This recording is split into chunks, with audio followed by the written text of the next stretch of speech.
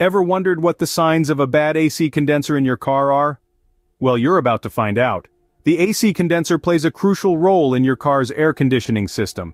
It cools down the refrigerant that helps keep your car's interior at a comfortable temperature. But like any other part of a vehicle, it can falter, and when it does it gives off certain telltale signs. In today's discussion, we'll delve into the world of AC condensers, specifically focusing on the five signs that indicate a bad condenser. Inadequate cooling, strange noises, leaks, restricted airflow, and a burning smell. Recognizing these signs early can save you from discomfort during a hot summer drive, and might also save you from expensive repairs down the line. So buckle up because knowledge is power and today, we're powering up your understanding of AC condensers. Stay tuned as we dive into the first sign of a bad AC condenser in your car. The first and most common sign of a bad AC condenser is inadequate cooling. Now let's dive into why this happens. The AC condenser in your car plays a key role in cooling the interior. It's a bit like a magical box that transforms high-pressure, high-temperature refrigerant gas into a cooler liquid state. This process is what provides that refreshing, cool air on a hot day. When your AC condenser is working properly it efficiently dissipates heat and delivers that much-needed cool breeze. But when it starts to go bad, it can't do its job as effectively. That means the refrigerant gas isn't cooled down as much as it should be. As a result, the air blowing out of your vents isn't as cold. So, what might cause this inadequate cooling? Well a few things can go wrong. The condenser could be blocked or damaged, preventing the refrigerant from being cooled properly, or the fan that helps cool the refrigerant could be malfunctioning. Even a small leak in the system can lead to reduced cooling capacity. Let's talk about implications. First off, you'll probably be less comfortable in your car, especially on those hot summer days. But beyond that, a malfunctioning AC condenser can put more strain on your car's engine as it tries to compensate for the lack of cool air. This could lead to more serious mechanical issues down the line. Moreover if the issue lies with a leak, you could potentially be losing refrigerant which is harmful to the environment. And if you're constantly cranking up the AC in an attempt to get cooler air, you're likely using more fuel which isn't great for your wallet or the planet. In short, inadequate cooling is more than just a discomfort. It's a sign that something's not right with your AC condenser, and it's worth getting it checked out. So, if you're not feeling that cool breeze like you used to, it might be time to check your AC condenser. The second sign to look out for is strange noises coming from your AC. The symphony of sounds your car makes is a language all its own, and when that language includes unusual noises from your air conditioning system, it's time to pay attention. A healthy AC condenser operates quietly, but a failing one might have you asking, who invited the rock band? If you're hearing a rattling or banging sound it could indicate loose or broken parts within the condenser. This is not a jam session you want to hear folks. And then there's the hissing. Picture a disgruntled cat, but under your hood. This noise is often a sign that refrigerant is leaking from the system, escaping under high pressure. It's an unwelcome guest at this imaginary concert and a sure sign that your AC condenser needs attention. Now, if you're hearing a buzzing noise it could signal an electrical issue.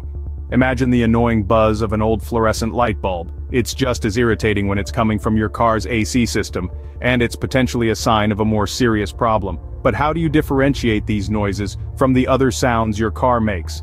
Well the key is to listen for these sounds when the AC system is running. Turn off the radio, ask the kids to quiet down, and really listen. You'll find these noises are most noticeable when the car is idling or when the AC system is first turned on.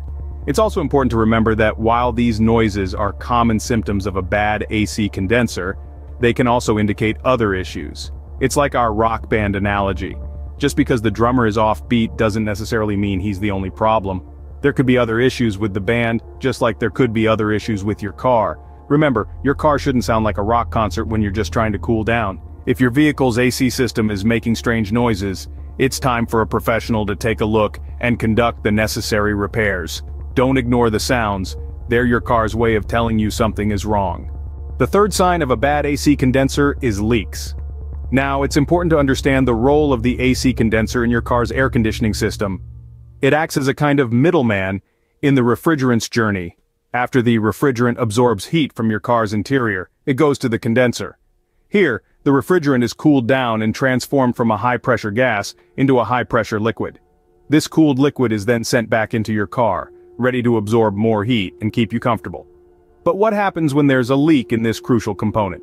Well, the refrigerant can escape, and the efficiency of your AC system takes a nosedive.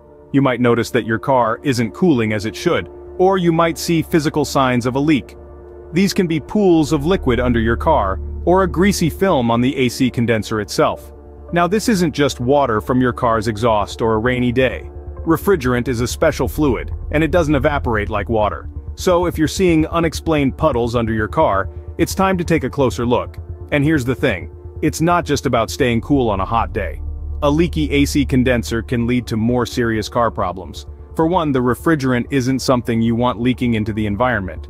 It's harmful to the ozone layer. Plus, without enough refrigerant, your AC system will have to work harder, this puts strain on other components and can lead to costly repairs down the road, so if you suspect a leak, don't ignore it. Get it checked out as soon as possible. It's better to fix a small problem now than to wait for it to become a big, expensive one. A leaky AC condenser is a slippery slope to more serious car problems. The fourth sign is restricted airflow. Now this is a sneaky one. Imagine a summer day you turn on the car's air conditioning and instead of a gust of cool relief, you're met with a sluggish trickle. That's what restricted airflow feels like, and it's a telltale sign of a problematic AC condenser. So, how does this happen? Well, the AC condenser plays a crucial role in your car's air conditioning system. It's responsible for dissipating heat carried by the refrigerant. But when it's blocked or damaged, it can't perform this job effectively. The result? Restricted airflow. Dirt, debris, or even damage to the condenser's fins can cause blockages. You might not notice this at first, especially if the blockage is minor. But as the issue worsens, the airflow from your vents will gradually decrease. It's like trying to blow air through a straw that's slowly getting pinched. And what if you ignore it? Well, let's just say it's not a good idea. A blocked AC condenser can cause other parts of the system to work harder, leading to further damage. It can also result in your AC system overheating, which is a danger you definitely want to avoid. So remember, if your vents aren't blowing like they used to, your AC condenser might be the culprit. Don't just sweat it out. Get it checked to ensure your car stays cool and your AC system stays healthy. The fifth and final sign of a bad AC condenser is a burning smell. Now this isn't your everyday run-of-the-mill odor, it's a distinct acrid scent that may remind you of something burning and it's not something to be taken lightly. So why would a malfunctioning AC condenser result in such a smell? Well the answer lies in the intricacies of your car's air conditioning system. The AC condenser plays a crucial role in dissipating heat. When the condenser goes bad, it may overheat, leading to components within the system melting or burning. This, in turn, produces that telltale burning odor. Recognizing this sign isn't hard, but it does require a bit of vigilance.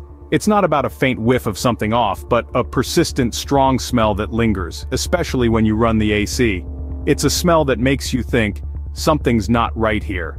The urgency of addressing this issue cannot be overstated. Ignoring it can lead to escalating damage not just to the AC condenser but potentially to other parts of the car's cooling system. It's not just about comfort on a hot day, but also about the overall health of your vehicle. So if your car's AC is giving off a burning smell, don't ignore it. Your AC condenser could be calling for help. So there you have it, the 5 signs of a bad AC condenser in your car. Let's recap quickly. Inadequate cooling is a clear sign something's up, and it's not just about comfort, it's about maintaining optimal conditions for your car's performance. Strange noises? They're your car's way of crying out for help, don't ignore them.